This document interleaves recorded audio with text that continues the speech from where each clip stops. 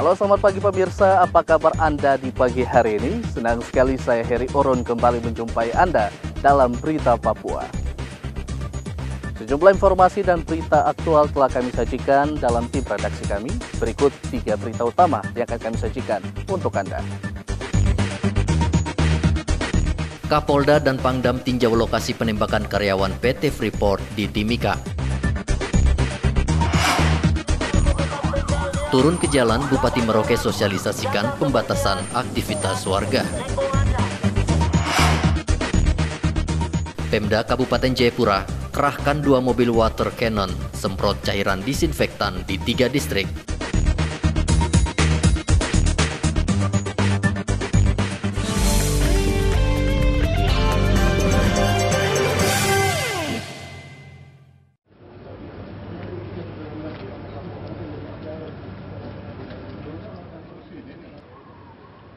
Kapolda dan Pangdam 17 Cendrawasih mendatangi lokasi penembakan tiga pekerja PT Freeport di Kuala Kencana, Kabupaten Mimika.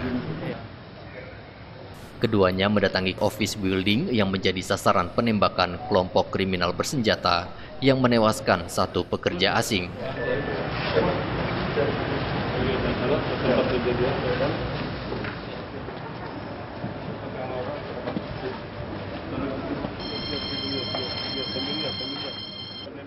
Kapolda juga melihat bukit tempat pelaku melancarkan aksinya.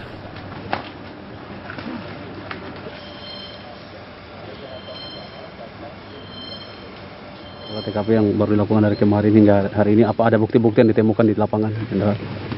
sementara petunjuk aja petunjuk ya tadi di sekitar KB1 yang mengarah ke korban itu Mr. Graham itu saya lihat memang jaraknya efektif itu satu. Yang kedua kita temukan jejak kaki.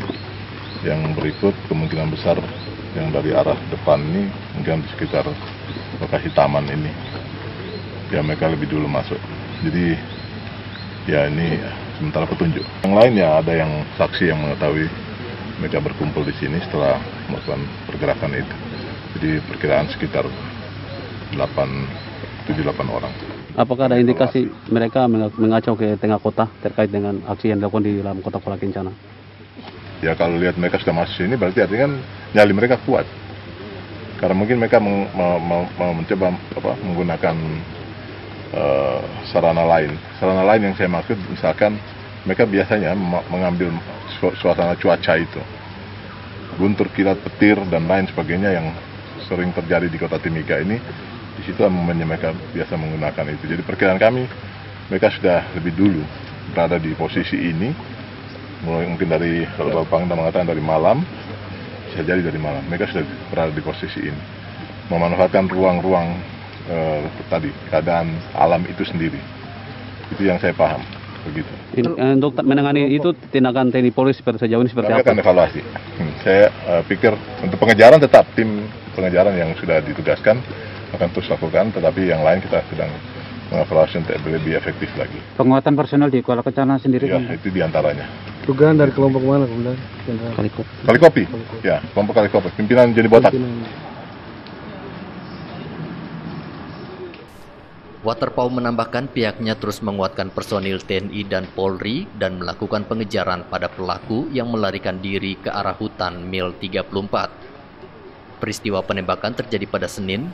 Tiga karyawan PT Freeport saat sedang rapat di dalam ruangan office building Kuala Kencana mendapat tembakan dari arah bukit. Satu karyawan asing tewas dan dua lainnya masih dirawat intensif di RSUD Kuala Kencana. Mencegah adanya serangan susulan, kini ratusan aparat menjaga Kuala Kencana dan memeriksa yang masuk ke dalam areal vital milik PT Freeport Indonesia. Dari Timika, Papua, Igobat Momolin melaporkan.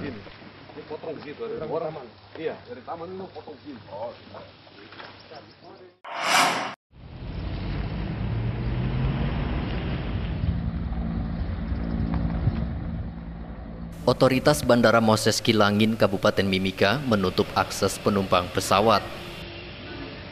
Penutupan dilakukan sesuai instruksi Gubernur Papua dalam mencegah penyebaran wabah COVID-19. Bandara yang setiap hari ramai ini nampak sepi Otoritas bandara hanya melayani pengiriman barang dan sembako serta sampel darah pasien COVID-19. Otoritas Bandara Moses Kilangin Mimika Anton mengatakan penutupan akses penumpang dilakukan hingga 9 April mendatang. Tetap tunduk dan taat kepada keputusan pusat, tapi juga mengakomodir atau tunduk juga terhadap keputusan e, provinsi maupun daerah. Dalam hal ini Kabupaten Timika sesuai dengan instruksi Bupati dan juga kemudian kemarin e, ada surat masuk ke semua airlines yang beroperasi di Bandara Udara Moses Kilangin Timika. Surat itu tanggal 27 Maret perihal adalah penghentian pelayanan penerbangan penumpang. Ini dari Pemda sudah menghimbau ke semua penerbangan yang beroperasi di Moses Kelangin untuk uh, tidak melayani penerbangan penumpang. Bandara Moses Kelangin Timika tetap beroperasional normal karena itu memang kami punya tupoksi bandara tidak boleh tutup terhadap apa ada pelayanan kargo.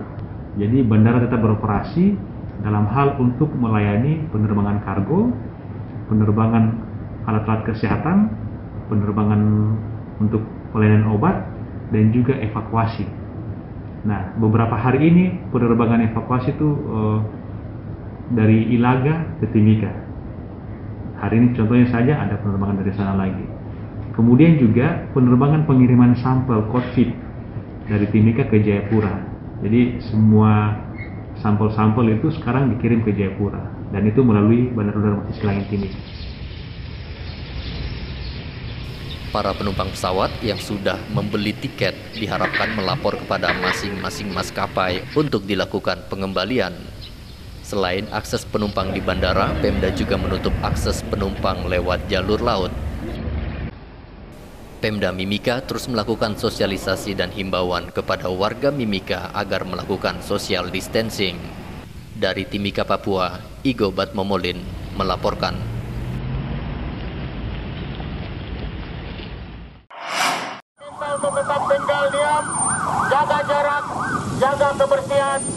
Menggunakan kendaraan roda 4 dan pengeras suara, Bupati Merauke, Freddy Gepse, terus melakukan himbauan kepada warga.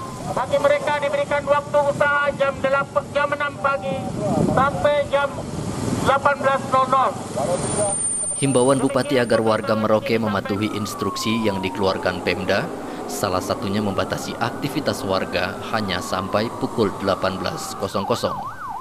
Himbauan dilakukan di sepanjang ruas jalan protokol Kabupaten Merauke. Selain meminta warga mematuhi pembatasan jam beraktivitas, Pemda Merauke juga meminta warga terus melakukan social distancing.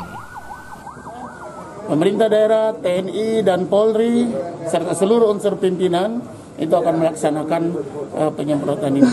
Yang kedua, kita harapkan partisipasi warga. Kenapa kita harapkan partisipasi warga? Bahwa pemerintah sudah menghimbau dari jam 6 pagi sampai jam 18.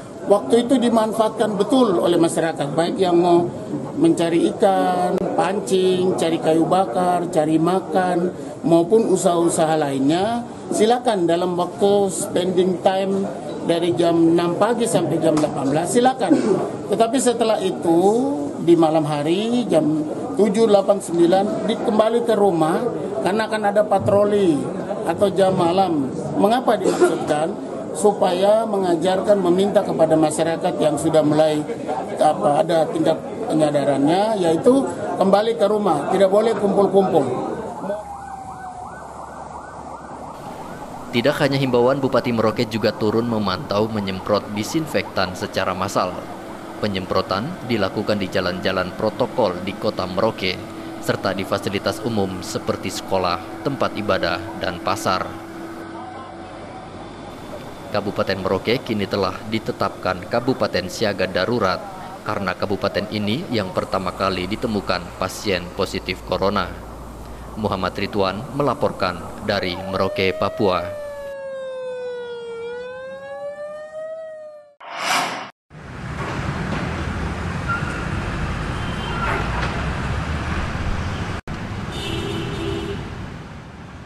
Adanya wabah COVID-19 membuat Kondi Provinsi Papua menunda pemusatan latihan atlet ke luar negeri. Penundaan sengaja dilakukan untuk mencegah atlet tertular COVID-19. Selain menunda pemusatan latihan, KONI Papua juga melarang seluruh atlet PON Papua melakukan pemusatan latihan di beberapa daerah di Indonesia yang terkena wabah COVID-19. Sestahapan TC ya yang sudah masuk kepada tahapan kedua yaitu eh, persiapan khusus ya. Ini eh, untuk sementara ya seluruh cabang olahraga tetap eh, TC-nya di tempat masing-masing. Ya. Tidak ada yang kita lakukan untuk pemindahan TC, ya, pindah ke daerah satu ke daerah yang lain. Apalagi untuk ke luar negeri, ya, ke luar negeri untuk sementara semua kita pending, ya. Untuk permainan, bela diri, ya, akurasi dan semua cabang olahraga kita pending ya sampai dengan situasi apa namanya wabah atau virus ini corona ini dia kondusif begitu ya. Kenius juga meminta agar seluruh aktivitas pemusatan latihan memperhatikan instruksi pemerintah seperti melakukan social distancing dan tidak berkumpul. Hingga kini pemerintah pusat belum memutuskan apakah PON 2020 yang rencananya akan digelar pada bulan Oktober mendatang di Papua ditunda atau tetap berjalan. Dari Jayapura, Papua, Arthur melaporkan.